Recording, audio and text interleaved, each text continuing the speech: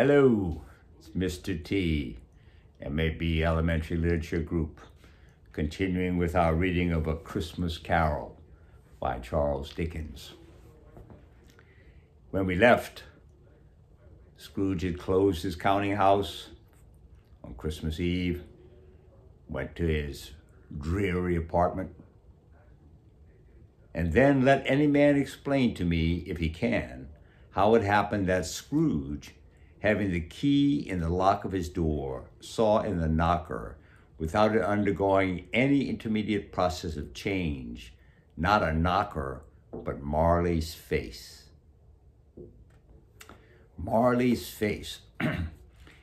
it was not in impenetrable shadow as the other objects in the yard were, but had a dismal light about it, like a bad lobster in a dark cellar.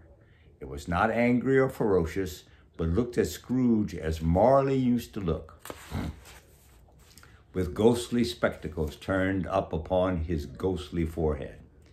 The hair was curiously stirred as if by breath or hot air, and though the eyes were wide open, they were perfectly motionless. That and its livid color made it hor- horrible, but its horror seemed to be in spite of the face and beyond its control rather than part of its own expression. As Scrooge looked fixedly at the phenomenon, it was a knocker again. To say that he was not startled, or that his blood was not conscious of a terrible sensation to which it had been a stranger from infancy, would be untrue. But he put his hand upon the key he had relinquished, turned it sturdily, walked in, and lighted his candle. That's my buddy Mosby in the background. He did pause with a moment's irresolution before he shut the door, and he did look cautiously behind it first, as if he half expected to be terrified with the sight of Marley's pigtails sticking out into the hall. But there was nothing on the back of the door except the screws and nuts that held the knocker on, so he said, pooh pooh, and closed it with a bang. The sound resounded through the house like a thunder. Every room above and every cask in the wine merchant's cellar below appeared to have a separate peal of echoes on its own. Scrooge was not a man to be frightened by echoes. He fastened the door and walked across the hall and up the stairs, and slowly, too, trimming his candle as he went. You may talk vaguely about driving a coach and six up a good old flight of stairs or through a bad young act of parliament, but I mean to say you might have got a hearse up that staircase and taken it broadways with the splinter bar towards the wall and the door towards the balustrades and done it easy. There was plenty of width for that and room to spare, which is perhaps the reason why Scrooge, though he thought he saw a locomotive hearse going on before him in the gloom. Half a dozen gas lamps out of the street wouldn't have lighted the entry too well, so you may suppose that it was pretty dark with Scrooge's dip. Up Scrooge went, not caring a button for that. Darkness is cheap, and Scrooge liked it.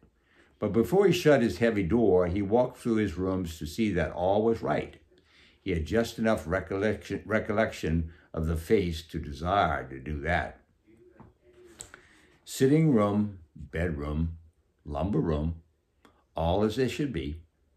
Nobody under the table, nobody under the sofa, a small fire in the grate, spoon and basin ready, a little saucepan of gruel. Scrooge had, his, had a coal in his head upon the hob. Nobody under the bed, nobody in the closet, nobody in his dressing gown, which was hanging up in a suspicious attitude against the wall. Lumber room as usual, old fire guard, old shoes, two fish baskets, washing stand on three legs, and a poker. Quite satisfied, he closed the door and locked himself in. Double locked himself in, which was not his custom.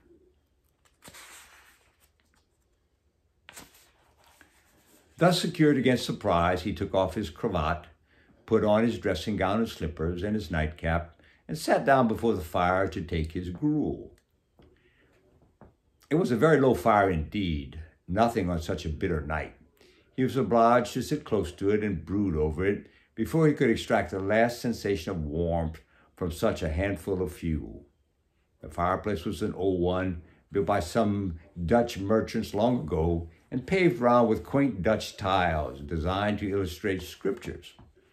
There there were Cain and Abel's, Pharaoh's daughters, queens of Sheba, angelic messengers descending through the air on clouds, like feather beds, Abraham's, Belshazzar's, apostles putting out to sea in butter boats, hundreds of figures to attract his thoughts.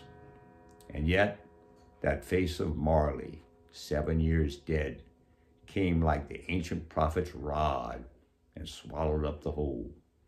If each smooth tile had been a blank at first, with power to shape some pictures on its surface from the disjointed fragments of his thoughts, there would have been a copy of old Marley's head on every one of them. Humbug, said Scrooge. He walked across the room. After several turns, he sat down again. As he threw his head back in the chair, his glance happened to rest upon a bell, a disused bell that hung in the room, and communicated for some purposes now forgotten with a chamber in the highest story of the building. It was with great astonishment and with a strange, inexplicable dread that as he looked, he saw that this bell began to swing. It swung so softly in the outset that it scarcely made a sound, but soon it rang out loudly, as did every bell like it in the house. This might have lasted half a minute or a minute, but it seemed like an hour. The bells ceased as they had begun, together. They were succeeded by a clanking noise deep down below, as if some person was dragging a heavy change over the caskets in the wine merchant's cellar. Scrooge remembered, then remembered, to have heard that ghosts in haunted houses were described as dragging chains. The cellar door flew open with a booming sound, and then he heard the noise much louder on the floors below, then coming up the stairs, then coming straight towards his door. It's a humbug still, said Scrooge. I won't believe it. His color changed, though, when, without a pause, it came on through the heavy door, passed in the room before his very eyes. Upon his coming in, the dying flame leapt up as though it cried, I know him, Marley's ghost, and fell again. The same face, the very same. Marley in his pigtail, usual waistcoat, tights and boots and tassels on the latter bristling, like his pigtail and his coat skirts and the hair upon his head. The chain he drew was clasped around his middle. It was long and wound around him like a tail, and it was made, for Scrooge observed it closely, of cash boxes, keys, padlocks, ledgers, deeds, and heavy purses wrought in steel. His body was transparent, so that Scrooge, observing him and looking through his waistcoat, could see the two buttons on the coat behind. Scrooge had often heard it said that Marley had no bowels, but he never believed it until now. No, nor did he believe it even now, though he looked at the phantom, he looked the phantom through and through and saw it standing before him, though he felt the chilling influence of its death cold eyes and marked the very texture of the folded kerchief bound around about its head and chin, which wrapper he had not observed before, he was still incredulous and fought against his senses. How now? said Scrooge, caustic and cold as ever. What do you want of me? Much, Marley's voice, voice, no doubt about it. Who are you? Ask me who I was. Who were you then? said Scrooge, raising his voice. You're, you're particular, not a shade. He was going to say to a shade, but substituted this as more appropriate. In life, I was your partner, Jacob Marley. can you can you sit down? asked Scrooge, looking doubtfully at him. I can. Do it then. Scrooge asked the question because he didn't know whether the ghost so transparent might find himself in a condition to take a chair, and felt that in the event of it being impossible, it might involve the necessity of an embarrassing explanation. But the ghost sat down on the opposite side of the fireplace as if it was quite used to it. You don't believe me, observed the ghost. I don't, said Scrooge. What evidence would you have of my reality beyond that of your senses? I don't know, said Scrooge. Why do you doubt your senses? Because, said Scrooge, a little thing affects them. A slight disorder of the stomach makes them cheats. You might be an undigested bit of beef, a blot of mustard, a crumb of cheese, a fragment of underdone potato. There's more of gravy than of the grave about you, whatever you are. Scrooge was not much in the habit of cracking jokes, nor did he feel in his heart by any means waggish just then. The truth is that he tried to be smart as a means of distracting his own attention and keeping down his terror, for the spectre's voice disturbed the very marrow of his bones. To sit staring at those fixed glazed eyes in silence for a moment would play, Scrooge felt, the very deuce with him. There was something very awful, too, in the spectre's being provided with an infernal atmosphere of its own. Scrooge could not feel it himself, but this was clearly the case, for though the ghost sat perfectly motionless, its hair and skirts and tassels were still agitated as by a hot vapor from an open oven. You see this toothpick? said Scrooge, returning quickly to the charge for the reason just assigned, and wishing though only for a second, to divert the vision's stony gaze from himself. I do, replied the ghost. You are not looking at it, Scrooge, said Scrooge. But I see it, said the ghost, notwithstanding. Well, returned Scrooge, I have put to, I have but to swallow this and be for the rest of my days persecuted by a legion of goblins, all of my own creation. Humbug, I tell you, humbug. At this, the spirit raised a frightful cry and shook its chain with such a dismal and appalling noise that Scrooge held on tight to his chair to save himself from falling in a swoon. But how much greater was his horror when the phantom, taking off the bandage round its head, as if it were too warm to wear it indoors, its lower jaw dropped down to its breast. Scrooge fell upon his knees, clapped his hands to his face. Mercy, he said, dreadful apparition, why do you trouble me? Man of the worldly mind, replied the ghost, do you believe in me or not? I do, said Scrooge, I must. But why do spirits walk the earth, and why do they come to me? it is required of every man, the ghost returned, that the spirit within him should walk about among his fellow men and travel far and wide. And if that spirit goes not forth in life, it is condemned to do so after death. It is doomed to wander the world through. Oh, woe's me! And witness what it cannot share, but might have shared on earth and turned to happiness. Again the spectre raised a cry and shook its chains and wrung its shadowy hands. You're fettered, said Scrooge, trembling. Tell me why. I wear the change I forged in life, replied the ghost. I made it link by link, yard by yard. I girded it on with my own free will, and of my own free will I wore it. Is it is its pattern strange to you? Scrooge trembled more and more. Or would you know, pursued the ghost, the weight and length of the strong coils you bear yourself? It was full as heavy and as long as this seven Christmas Eves ago. You have labored on it since. It's a ponderous change by now. Scrooge glanced about him on the floor in the expectation of finding himself surrounded by some 50 or 60 fathoms of iron cable, but he could see nothing. Jacob, he said imploringly, Oh, Jacob Marley, Tell me more. Speak comfort to me, Jacob. I have none to give, replied the ghost.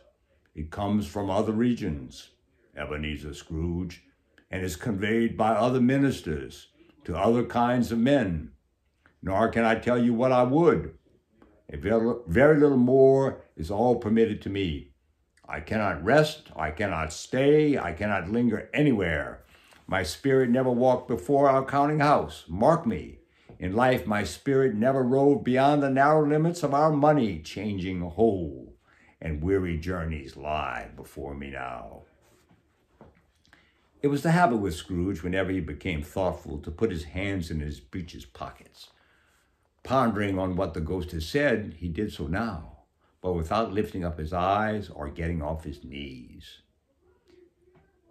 You must have been very slow about it, Jacob, Scrooge observed in a businesslike manner, though with humility and deference. Slow? The ghost repeated. Seven years dead, mused, mused Scrooge, and traveling all the time? The whole time, said the ghost. No rest, no peace, incessant torture of remorse.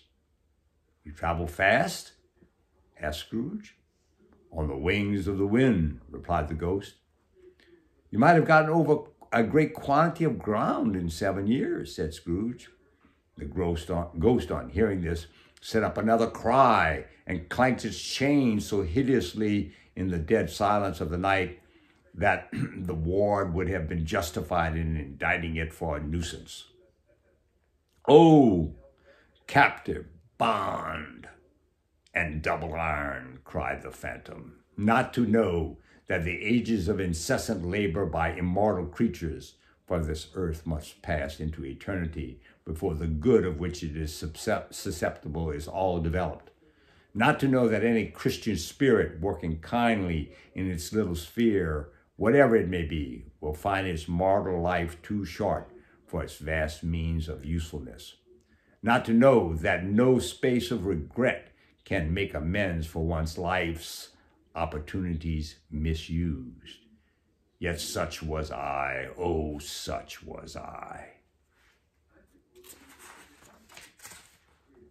But you always a good man of business, Jacob, faltered Scrooge, who now began to apply this to himself. Business, cried the ghost, wringing his hands again. Mankind was my business. The common welfare was my business. Charity, mercy, forbearance, and benevolence were all my business. The dealings of my trade were but a drop in the water in the comprehensive ocean of my business. It held up its chain at arm's length, as if it were, were the cause of all the unavailing grief, and flung it heavily upon the ground again. At this time of the rolling year, said the spectre, I suffer most. Why did I walk through crowds of fellow beings with my eyes turned down and never raise them to that blessed star which led the wise men to the poor abode? Where there were there no poor homes to which its light would have conducted me? Scrooge was very much dismayed to hear the spectre going on at this rate and began to quake exceedingly. Hear me, cried the ghost, my time is nearly gone. I will, said Scrooge. But don't be hard on me. Don't be flowery, Jacob, pray. How is it that I appear before you in a shape that you can see? I may not tell. I have sat invisible beside you many, many a day. It was not an agreeable idea, Scrooge shivered and wiped the perspiration from his bow, brow. that is no light part of my penance. That is no light part of my penance, pursued the ghost. I'm here tonight to warn you that you have yet a chance and a hope of escaping my fate, a chance and a hope of my procuring Ebenezer. You were always a good friend to me, said Scrooge. Thank ye. You will be haunted, resumed the ghost, by three spirits. Scrooge's countenance fell almost as low as the ghost had done. Is that the chance and the hope you mentioned, Jacob? he demanded in a faltering voice. It is. I, I think I'd rather not, said Scrooge. Without their visit, said the ghost, you cannot hope to shun the path I tread. Expect the first tomorrow when the bell tolls, tolls one. Could not I take 'em all at once and, and have it over, Jacob? hinted Scrooge. Expect the second on the next night at the same hour, and the third upon the next night when the last stroke of twelve has ceased to vibrate. Look to see me no more, and look that for your own sake you remember what has passed between us. When it had said these words, the spectre took its wrapper from the table, bound it round its head as before. Scrooge, Scrooge knew this by the smart sound its teeth made when the jaws were brought together by the bandage. He ventured to raise his eyes again and found his supernatural visitor confronting him in an erect attitude with its chain wound over and about its arm. The apparition walked backwards from him, and at every step it took, the window raised itself a little so that when the spectre reached it, it was wide open. It beckoned Scrooge to approach, which he did. When they were within two paces of each other, Marley's ghost held up its hand, warning him to come no nearer. Scrooge stopped. Not so much in obedience as in surprise and fear, for on the raising of the hand, he became sensible of confused noises in the air, incoherent sounds of lamentations and regret, wailings inexpressible, sorrowful, and self accusatory. The, the specter, after listening for a moment, joined in the mournful dirge and floated out upon the bleak, dark night. Scrooge followed to the window. Desperate in his curiosity, he looked out. The air was filled with phantoms, wandering hither and thither in restless haste and moaning as they went. Every one of them wore chains like Marley's ghost. Some few, they might be guilty governments, were linked together. None were free. Many had been personally known to Scrooge in their lives. He had been quite familiar with one old ghost in a white waistcoat with a monstrous iron safe attached to its ankle, who cried piteously at being unable to assist a wretched woman with an infant whom it saw below upon a doorstep. The misery with them all was clearly that they sought, sought that they sought to interfere for good in human matters, but had lost all power to do so forever. Whether these creatures faded into the mist or the mist enshrouded them, he could not tell. But they and their spirit voices faded together, and the night became as it had been when he walked home. Scrooge closed the window and examined the door by which the ghost had entered. It was double locked, as he had locked it with his own hands, and the bolts were undisturbed.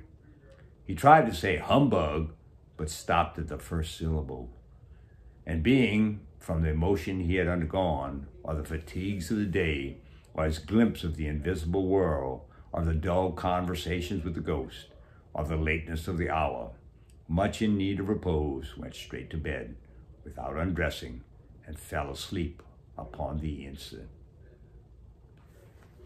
I'll stop there and we'll wait to see what adventures, mysterious adventures, awaits Ebenezer Scrooge. Mr. T out.